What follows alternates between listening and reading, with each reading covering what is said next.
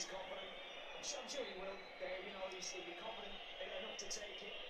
What a foul to referee got it right. I'm not so sure about the red card, but the decision is right.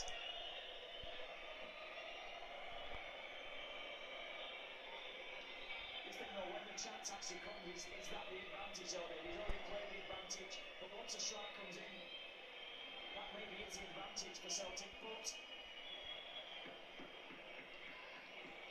we've got a huge boost here now.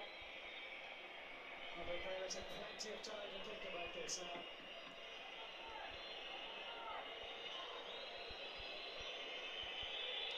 Up against the experience, Yann Sommer. A lifeline for Celtic at the Borussia Stadium.